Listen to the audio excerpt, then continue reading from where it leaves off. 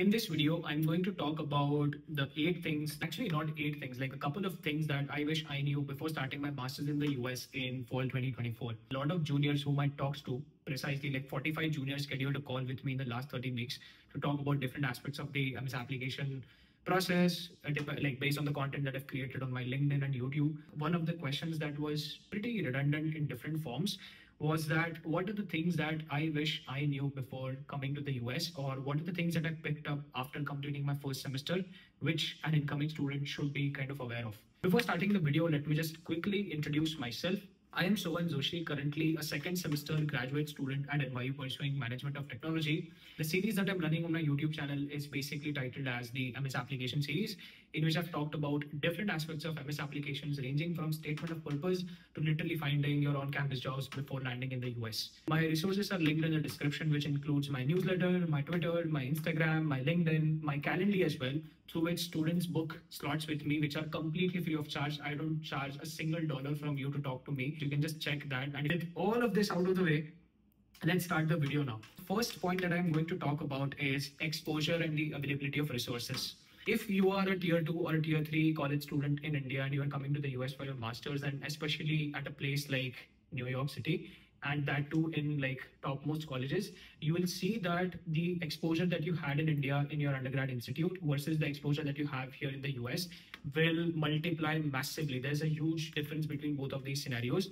I made this tweet a couple of days ago, which you can see on the screen, which is basically talking about the different levels of exposure that I got after coming to the US. So like starting from my coursework to NYU Tandon to NYU to, you know, NYC and then US, all the different levels of exposure, all the different levels of access to multiple resources here in the city, here in like the university both, which I, you know, got an experience of. So it's kind of overwhelmed, easy to get overwhelmed with so many resources that you get access to out of nowhere but at the same time i'm just making you aware of the fact that you do have so many things to do and you do have so many resources to look forward to.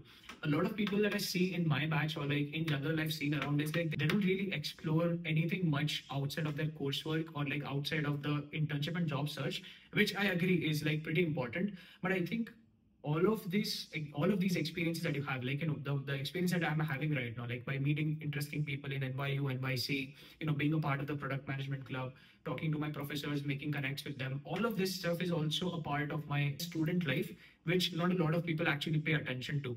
And if you look at it pretty objectively it's not that you don't have too much of time. You actually have a lot of time provided you work like 70 80 hours a week you do have a lot of time to do all of these things and also all of these things is is what i feel but the key idea here is that you should look for the entire playground, or at least I looked at the entire playground before like you know sort of starting it starting to exploit it in the in the second semester. Like my first semester was all about understanding all the resources that i had and that's when i made this tweet.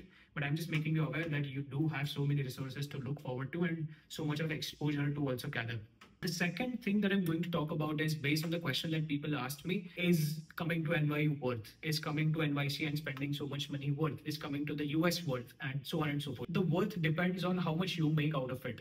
Like I said, there are so many resources, there are so many things to do. There are you know multiple opportunities to grab here like in general as a master's student so many things to experience as a master's student but if you're like sitting in your room and you're not really generating that momentum generating that action to go out and do things you are not going to find the program or the, like the entire experience worth. So if you are expecting that just because you are into NYU, just because you are in a I don't know tier one school here in the US again, things will be coming to your plate.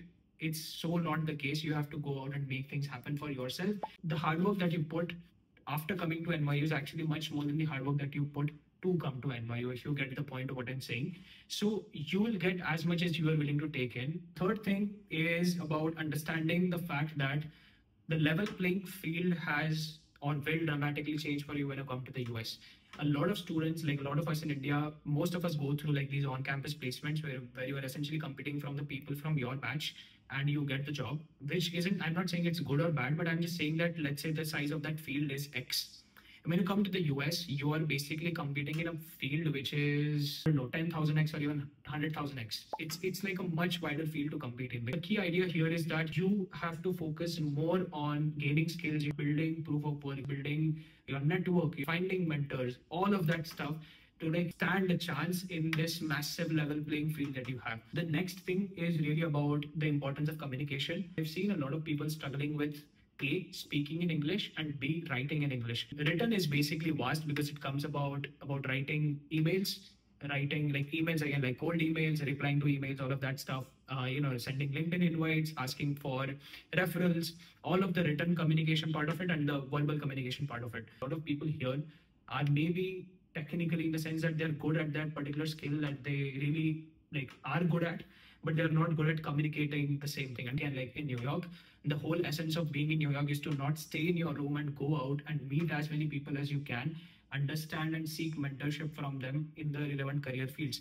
But if you're sitting at home um, and like you're not able to communicate with people i think you are going to have a hard time. So like really polishing your communication skills and really working on them before even you come here is really important because i've seen a lot of people struggle with it. The other thing is to understand that anything that you are going to get here as the first meaning your professional first meaning your first internship your first on campus job your first project that you're going to like non-academic project that you're going to pair yourself with someone all of these firsts that you're going to have here is going to be on the basis of the experience that you are bringing from your past like you know meaning your undergrad projects undergrad internships undergrad you know subjects that you took up uh, you know if you have a work experience what did you do in your work experience and you know all of all of that stuff. Reason why i brought this up is basically to understand that you like you know especially in a degree like management of technology people come here with engineering backgrounds and they think that as soon as they take up this course they are going to dramatically shift into like i don't know like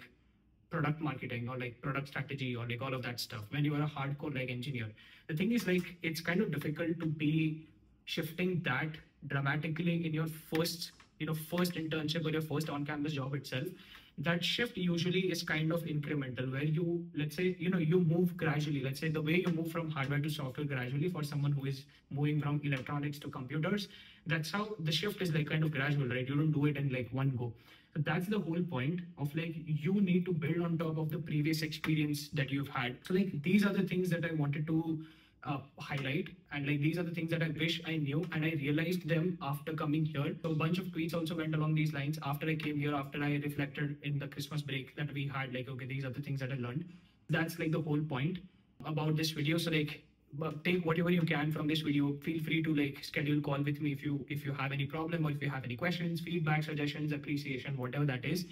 And if you've finished watching this video you might like this video here or like this video i don't know where it is but like this video here in which i've talked about landing your part-time job or on-campus job before coming to the us so please check out this video and all the other videos which are also listed in the description. And i wish you all the best. Thank you so much for watching. I'll see you in the next one. Bye